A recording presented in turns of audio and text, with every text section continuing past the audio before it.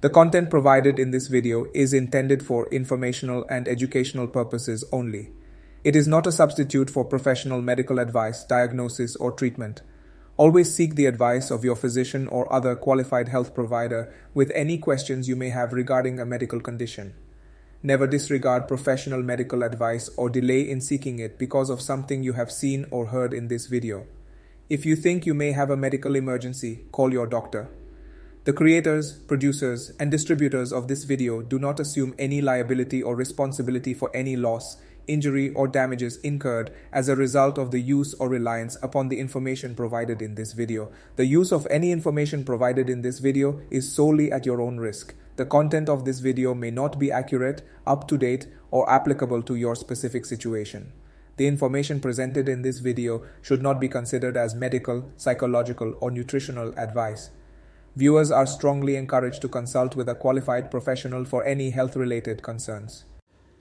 Hi hello നമസ്കാരം. എല്ലാവർക്കും S to പോസിറ്റീവിലേക്ക് ഒരിക്കൽ കൂടി സ്വാഗതം. നമ്മളുടെ ഈ ക്വസ്റ്റ്യൻ ആൻസർ സെക്ഷനിൽ ഒരുപാട് പേര് സപ്പോർട്ട് തരുന്നതിൽ വളരെ സന്തോഷമുണ്ട്. അപ്പം വേഗം ക്വസ്റ്റ്യൻ ആൻസറിലേക്ക് പോകുന്നതിന് മുമ്പ് എനിക്ക് നിങ്ങളോട് ഒരു കാര്യം പറയാനുണ്ട്. ഒരു കഥയാണ്. കഥയല്ല കഴിഞ്ഞ ആഴ്ച ഒരു സെക്ഷന് വേണ്ടി ഒരാൾ ബുക്ക് ചെയ്തു. വെളിയിൽ നിന്നാണ് ദുബായിൽ നിന്നാണ്. അപ്പം ഒരു സാധാരണ ഒരു അനലൈസിങ് എന്നുള്ള രീതിയിലാണ് നമ്മൾ കോളിൽ ഇരുന്നത്.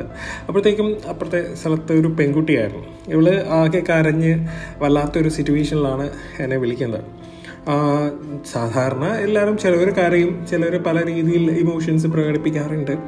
അപ്പോഴത്തേക്കും എന്ത് ചെയ്യണമെന്നറിയാൻ മേലാത്ത ഒരു സിറ്റുവേഷനിലൂടെയാണ് ആ കുട്ടി നീങ്ങുന്നത് ഇവളുടെ കഥ കേട്ട് കഴിഞ്ഞപ്പം സത്യം പറഞ്ഞാൽ എന്റെയും കിളി പോയി സി ആ ഒരു കുട്ടിയെ രക്ഷിക്കാൻ വേണ്ടി അല്ലെങ്കിൽ ആ കുട്ടിയുടെ കാര്യങ്ങളൊക്കെ കേട്ട് അവളെ സപ്പോർട്ട് ചെയ്യാൻ വേണ്ടി കഴിഞ്ഞ ഒരാഴ്ച വളരെയേറെ ഞങ്ങൾ പണിപ്പെട്ടു.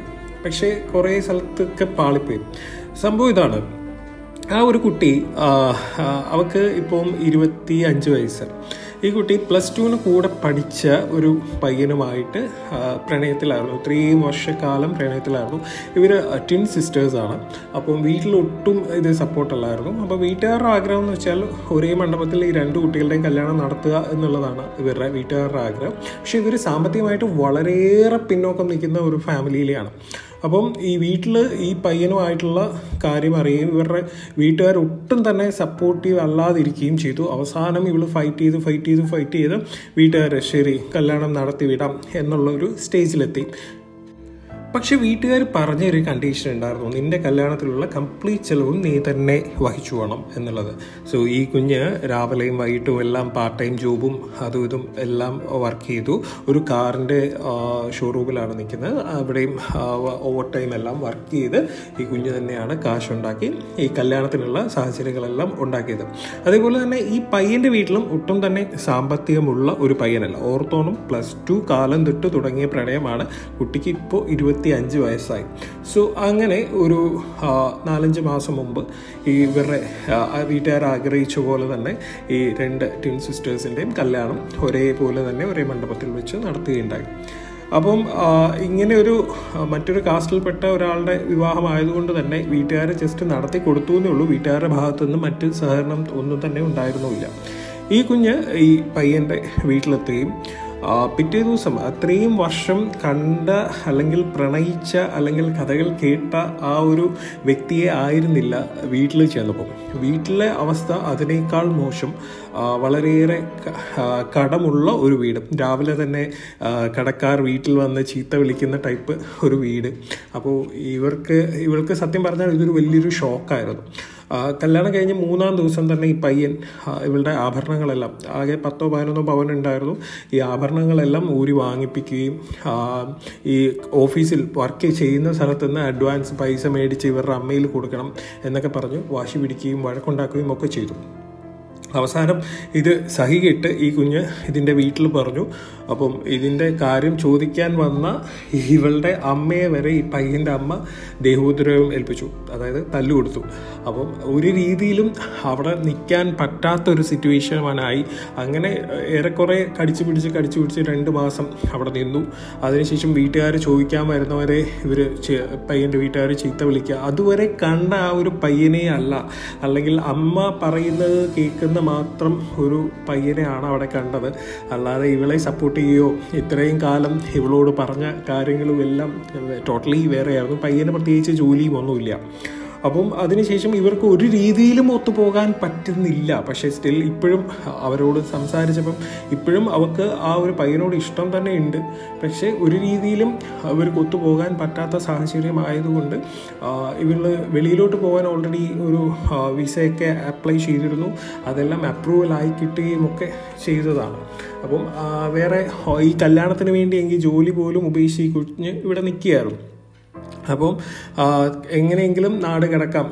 മ്യൂച്വൽ ഡിവോഴ്സിനാണെങ്കിലും ഒരു വർഷം സമയം വേണമല്ലോ എന്ന് വിചാരിച്ച് ഇവൾ സഹോദരിയുടെ സഹോദരിയെ വിളിച്ച് സംസാരിച്ചു. അങ്ങനെ സഹോദരി ഞാൻ പറഞ്ഞല്ലോ ടിൻ സിസ്റ്റർ നേഴ്സാണ് അവൾ ദുബായിലാണ്. അവളോട് സംസാരിച്ചു. അവൾ ഇവളെ ഹെൽപ്പ് ചെയ്തു. ഇവൾ ദുബായിൽ പോയി. ദുബായിൽ പോയി രണ്ടാഴ്ച രണ്ട് മൂന്നാഴ്ച കഴിഞ്ഞപ്പോഴത്തേക്കും എന്തോ ഒരു പ്രോബ്ലം പോലെ തോന്നി. ഭയന്ന് തന്നെ സംഭവിച്ചു. ഈ കുഞ്ഞ് പ്രഗ്നന്റ് ആണ്. പ്രഗ്നന്റ് ആണ് ഒരു മാസവും ഒരാഴ്ചയും ആയിരിക്കുന്നു ആ ഒരു പ്രഗ്നൻസി ആയിട്ട്. അപ്പോഴത്തേക്കും എല്ലാ കാര്യങ്ങളും വീണ്ടും പിടിവിട്ട് പോകുന്ന ഒരു സിറ്റുവേഷൻ ഈ കുഞ്ഞ് ഈ കുഞ്ഞാണെങ്കിൽ വീട്ടിലുള്ള അവസാനത്തെ പൈസയും അവസാനത്തെ ആഭരണവും പണയം വെച്ച് ആ പൈസയ്ക്കാണ് ദുബായിക്ക് പോയത്. ടിക്കറ്റിനും ചിലവുകൾക്കും എല്ലാം. അത്രയ്ക്കും സാമ്പത്തികം ഇല്ലാത്തൊരു വീട്ടിലൊരു അംഗമാണ്. അവിടെ ചെന്നപ്പോഴത്തേക്കും ഈ പ്രഗ്നൻസിയുടെ പ്രശ്നം ഇതെല്ലാം വന്നു. അങ്ങനെ അവിടെ ഒരു മലയാളി ഡോക്ടറുടെ അടുക്ക പോയി ഹോസ്പിറ്റലിൽ പോയി. അപ്പം അവിടെ ഇത് അബോട്ട് ചെയ്യാൻ സമ്മതിക്കത്തില്ല. ഏറ്റവും ദുരന്തകരമായിട്ടുള്ളൊരു സംഭവം ഈ പ്രഗ്നൻസി റിലേറ്റഡ് ടെസ്റ്റ് എടുത്ത കൂട്ടത്തിൽ ഈ കൊച്ച് എച്ച് ഐ വി പോസിറ്റീവായി അതാണ് ഏറ്റവും ഷോക്കിംഗ് ആയിട്ടുള്ളൊരു സംഭവം. ആ അപ്പം ഇവൾക്ക് ഒരു രീതിയിലും ജീവിക്കാനുള്ള സാഹചര്യം ഇല്ലാതായി മാറിക്കൊണ്ടിരിക്കുകയാണ്. അപ്പോൾ ഈ ഈ കൊച്ച് എന്നെ വിളിച്ച സംഭവം ഇത്രയേ ഉള്ളൂ. അതിന് വിസ രണ്ട് വർഷവും കൂടെ കാലാവധി ഉണ്ട്. ആ സമയത്ത് അവിടെ വർക്ക് ചെയ്യാം. അപ്പം മരുന്നെടുക്കാതിരിക്കാൻ പറ്റുമോ? അല്ലെങ്കിൽ ഇപ്പം എന്താണ് ചെയ്യേണ്ടത്? ഏറ്റവും ഇമ്പോർട്ടന്റ് ആയിട്ടുള്ള കാര്യം ഈ ഗർഭം അലസിപ്പിക്കുക എന്നുള്ളൊരു സംഭവമാണ്. കാരണം ഇവൾ മരുന്നെടുക്കുന്നില്ല മാത്രമല്ല ഈ ഒരു ഇവർ തമ്മിൽ ഒത്തു പോവാ പോകത്തുമില്ല. അപ്പം ഈ ഒരു കുഞ്ഞ് ഒരു ബാധ്യതയായിട്ട് എല്ലാവർക്കും നിൽക്കും. അതിന്റെ ഫ്യൂച്ചറിനും അത് തന്നെയാണ് നല്ലത്.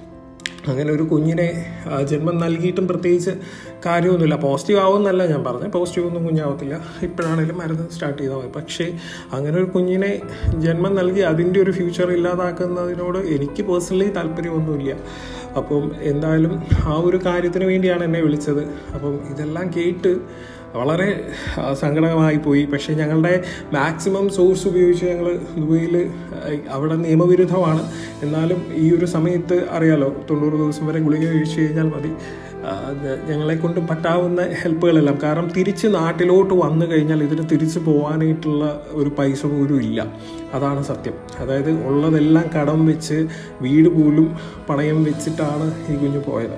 അപ്പോൾ തിരിച്ച് നാട്ടിൽ വന്നിട്ട് തിരിച്ച് ഫ്ലൈറ്റ് ടിക്കറ്റ് എടുത്ത് പോകാനായിട്ടുള്ള സാമ്പത്തികമില്ല സോ എന്നെ കൊണ്ട് പറ്റുന്നതും എന്റെ സോഴ്സും ഞങ്ങളുടെ ഹോസ്പിറ്റലിന്റെ സോഴ്സും എല്ലാം വെച്ചിട്ട് നമ്മൾ മാക്സിമം ട്രൈ ചെയ്തു. പക്ഷേ നിരാശയായിരുന്നു ഫലം. അവിടെ ചെയ്യാൻ പറ്റിയില്ല. പിന്നെ നമ്മളെ കൊണ്ട് പറ്റുന്ന രീതിയിൽ സഹായമൊക്കെ കൊടുത്ത് അതിനെ നാട്ടിൽ കൊണ്ടുവന്നു. ഇവിടെ വന്നു. നാട്ടിൽ കാര്യങ്ങളെല്ലാം കഴിച്ചു. ഇനി എങ്ങനെ തിരിച്ചു കൊണ്ടുപോകും? ഇതിന്റെ ഫ്യൂച്ചർ എന്താണ്? കുഞ്ഞ് പോസിറ്റീവ് ആയില്ലേ? കുട്ടി പോസിറ്റീവ് ആയില്ലേ? ഇതിന്റെ ഫ്യൂച്ചർ എന്താണ്? ഒന്നും അറിയാൻ മേലാതെ ആ കൊച്ചാണെങ്കിലും എന്ത് ചെയ്യണം എന്ന് അറിയാൻ മേലാതെ നിൽക്കുന്നു. സോ ഞാൻ ഈ ഒരു കഥ ഇവിടെ പറയാൻ കാരണം എന്താണെന്ന് വെച്ച് കഴിഞ്ഞാൽ വിവാഹത്തിന് മുമ്പ് സത്യം പറഞ്ഞാൽ നമ്മൾ ജാതകം നോക്കുന്നു പൊരുത്തം നോക്കുന്നു അതുപോലെ കാര്യങ്ങളെല്ലാം നോക്കുന്ന പോലെ തന്നെ ഇതുപോലുള്ള ടെസ്റ്റുകളും ഇപ്പോഴത്തെ കാലഘട്ടത്തിൽ ചെയ്യേണ്ടത് വളരെയേറെ ഇമ്പോർട്ടന്റ് ആണ്. Pre pre H I V test ചെയ്യേണ്ടത് കല്യാണത്തിന് മുമ്പ് വളരെയേറെ ഇമ്പോർട്ടന്റ് ആണ്. ചില രാജ്യങ്ങൾ സിംഗപ്പൂർ പോലുള്ള ചില രാജ്യങ്ങൾ ഇത് നിയമപരമായിട്ട് തന്നെ കൊണ്ടുവന്നിട്ടുണ്ട്. കല്യാണത്തിന് മുമ്പ് ഇന്ന ടെസ്റ്റുകൾ എടുത്ത് കൊണ്ടുവരണം എന്നുള്ളത് വന്നിട്ടുണ്ട്. പ്രത്യേകിച്ച് ഇന്ത്യ പോലുള്ള സ്ഥലത്ത് ഇപ്പോഴത്തെ ഒരു സാഹചര്യത്തിൽ നിങ്ങൾ ഒരു അഞ്ച് കൊല്ലം മുമ്പുള്ള സാഹചര്യങ്ങളല്ല അത്രയും ഇന്റർനെറ്റിന്റെയും സോഷ്യൽ മീഡിയാസിന്റെയും ഒന്നും അതിപ്രസരണം അന്നില്ല അപ്പം ഇന്നത്തെ കാലഘട്ടം അപ്പം നിങ്ങൾ അങ്ങനെ അല്ലായിരിക്കാം. പക്ഷേ ഇത് കേൾക്കുന്ന നിങ്ങൾ ചിലപ്പോൾ നെറ്റി ചുളിച്ചേക്കാം എന്തായി പറയുന്നത്? പക്ഷേ അത് അറിയാവുന്നവർക്കറിയാം. അതാണ് സത്യം. അപ്പം ഇങ്ങനെയുള്ള ടെസ്റ്റുകൾ അനിവാര്യമാണ്. എന്തായാലും ഇത് ഞാൻ ഒരുപാട് പറഞ്ഞു നീട്ടുന്നില്ല. ഞാൻ ഒരുപാട് വലിച്ചു നീട്ടുന്നതെന്ന് പറഞ്ഞാൽ ഒരുപാട് പേർക്ക് കംപ്ലൈന്റ് ഉണ്ട്. എന്തായാലും ഒരുപാട് വലിച്ചു നീട്ടുന്നില്ല. അപ്പോൾ നമുക്ക് ഇന്നത്തെ ചോദ്യത്തിലോട്ട് പോവാം. സാർ പതിമൂന്ന് വർഷമായി ഞാൻ എച്ച് ഐ പോസിറ്റീവാണ് മെഡിസിൻ കൃത്യമായി ഇപ്പോഴും കഴിക്കുന്നുണ്ട്.